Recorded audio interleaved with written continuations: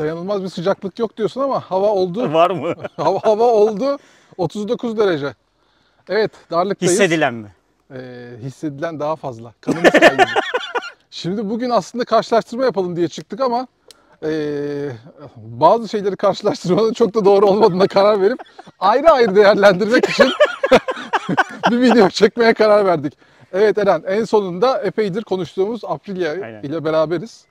Ali Oruç'a çok teşekkür ediyoruz. Bize Aynen Ali iyi yapmışsın. Ali birdenbire verdiği bir kararla şöyle Cem Yılmaz'ın şeyi var ya askerde dayak yok böyle bir şey oluyor hissedilmiyor bile diyor. Onun gibi motorda da yani bir sürü motordan bu motora geçtiğimizde e, böyle bir şey oluyor. O sırada kafanı falan tutman gerekiyor şey yapabilmek için.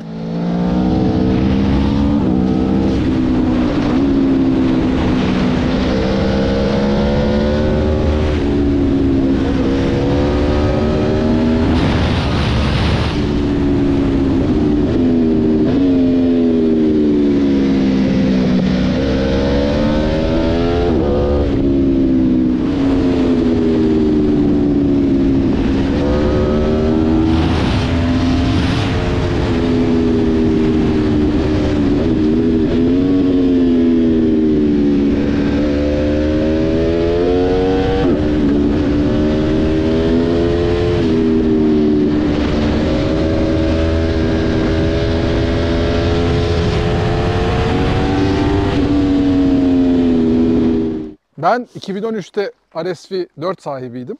APRC. O zaman ABS falan yoktu. Sadece çekiş kontrolün ilk versiyonu vardı. Biaggi'nin o zaman bir önceki senesinde şampiyon sezon, oldu değil mi? 3 sezon şampiyon oldu. Evet. Motorun üstündeydim. Ee, hemen hatırladım. Hemen o hissiyat aklıma geldi. Tabii bunun güzelliği Guido'nun bir parça daha yukarıda oluşu.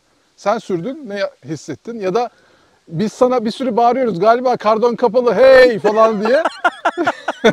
Meğer kardo kapalı değil Eren şalterleri kapat, kapatmış. Oğlum. Bir anlayayım diye şey yaptım ama ben anlayacağımı anladım.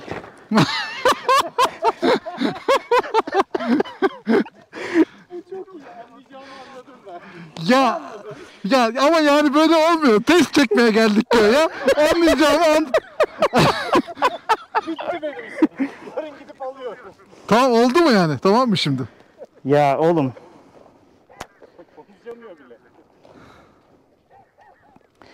Ee, arkası biraz şey ee, yumuşak. Yok kaymıyor. Yumuşak. Normalde biraz daha şey olabilir. Selesi de düz olduğu için daha da böyle şeyde hissettiriyor. ge- Geride hissettiriyor.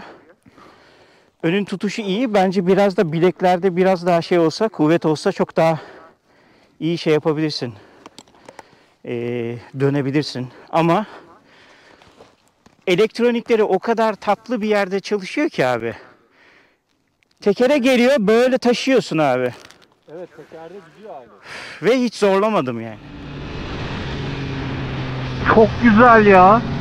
Çok hoşuma gitti. Acayip rahat. Şöyle. Vallahi çok güzel. wow! Nasıl? Acayip kolay kontrolü. İnanılmaz. Evet.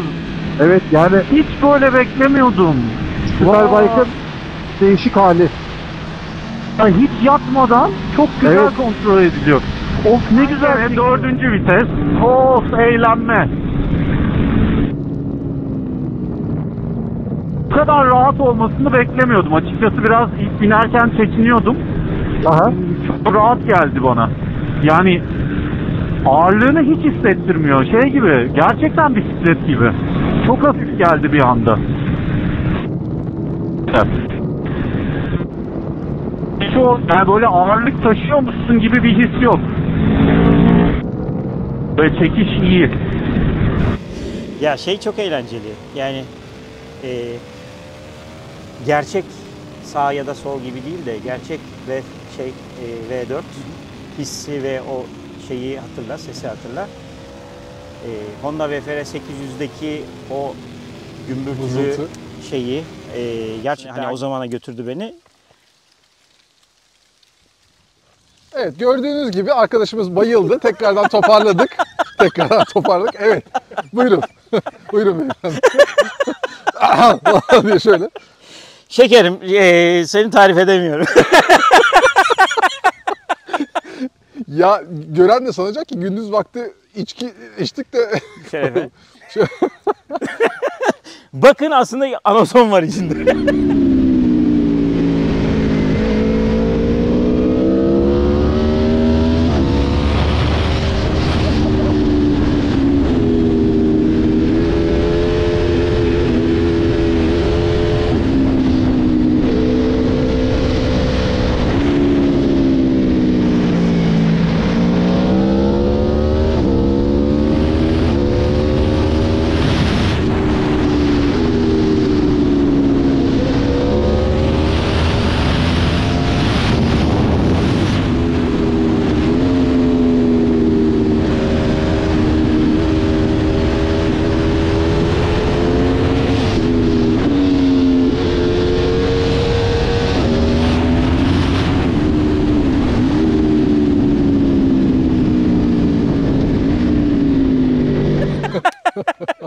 Yok yok anason yok. Eee, şöyle şimdi eee, sesle beni cezbeden şeyin hani sıfatını bulmaya çalışıyordum. Benim VFR'm şey VFR 800'üm vardı.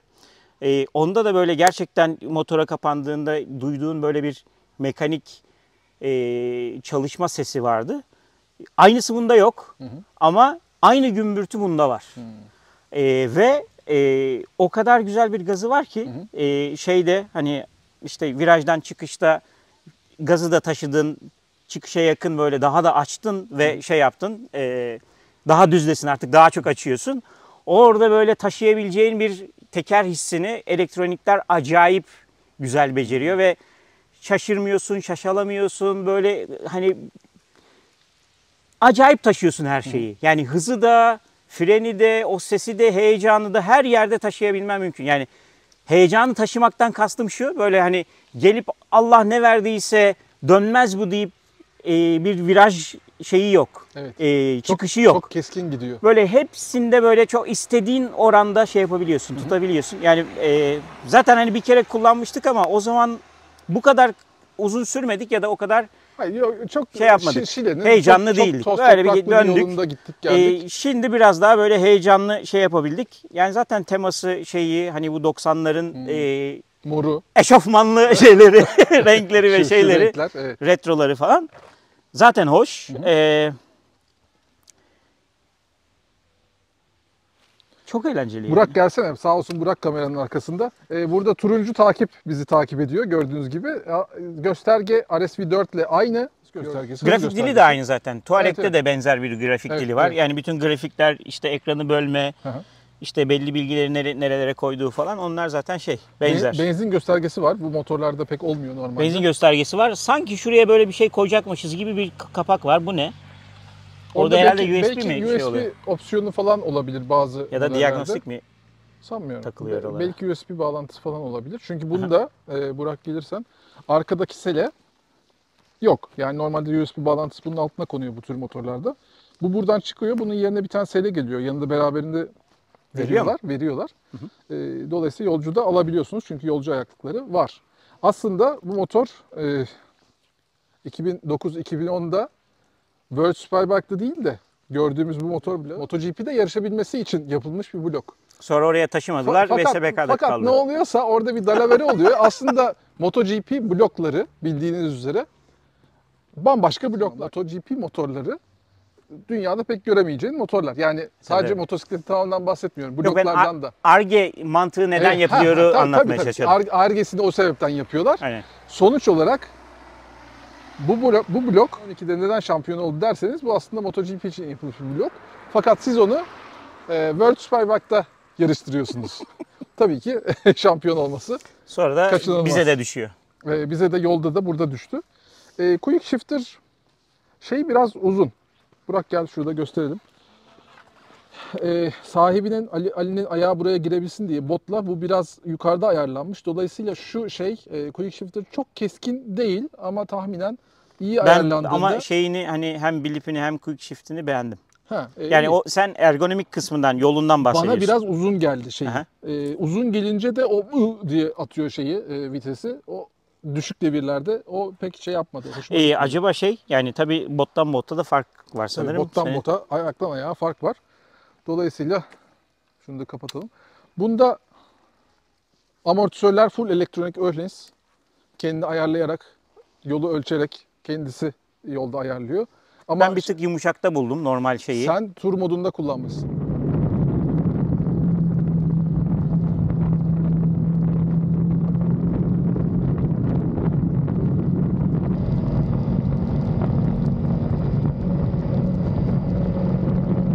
Ee, Bir de gider giderken şeye bakarsın. Spora. Spora. Ee, spor modunda daha ateşli, agresif, agresif.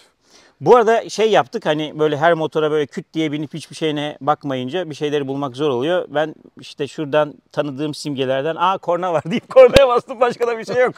Bilmiyorum öğrenmem lazım. Bir süper spordan e, devşirilen motora oranla bunda mesela Epey bir şey, şey var. e, hız sabitleyici var. O güzel Evet, bir şey. Çok iyi bence de. E, uzun yola da gidebiliyor. Bir de bunun aslında tur versiyonu var. Elektronik amortisörü olmayan saks amortisörlü. Onun mesela ön camı yüksek. O camı olduğu gibi buna da apartabiliyorsun. Koyabiliyorsun. Dolayısıyla uzun yola da biraz gitmesi mümkün. Bir dikkat etmek gereken şey çok ısınıyor. O 2013'te de 2011'de de çok ısınıyordu. Hala çok ısınıyor. Ee, biraz motoru akıtmak ve şey yapmamak lazım. Fazla trafikte tutmamak Bundan lazım. gideceksin. Trafikte tutacaksan da valla ben e, kontağı kapatıyorum ki şasi ısınmasın. Çünkü şasi ısınınca Sonra sürekli pişiyorsun. olarak üstündeki sürücüyü ve benzin Benzini. deposunu da pişiriyor. Ee, öyle o dezavantajı hala devam ediyor ama görseli, şey sesi bir de şu gazın hissiyatı. Burak bir gelsene bak. Ya evet. Bak. Yani Şunun onu- hissiyatı çok acayip. Şey tabii yani o e, kapalıdan açığa geçerken ki o geçişler de çok tatlı.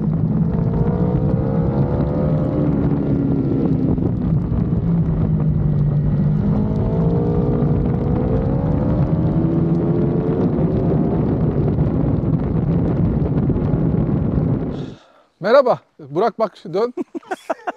Merhaba ne haber? Kaçıyor. Bir de frenden bahsedelim istersen. Fren tabii RSV4 ile neredeyse aynı. Ee, bunlar ben karıştırıyorum. Stylema mı yoksa şey mi? Şu üst merkez. Aman güzel Brembo. tutuyor diyeceksin işte ya. M50 mi? Stylema mı? Artık neyse ne. bunun üstündeki. Progresif. Hissi güzel. Duruyor. Evet. Japon'da olmayan. Son son Evet. Bence de. Bak kapıyı aç diyor. Geldi kapıyı aç diyor.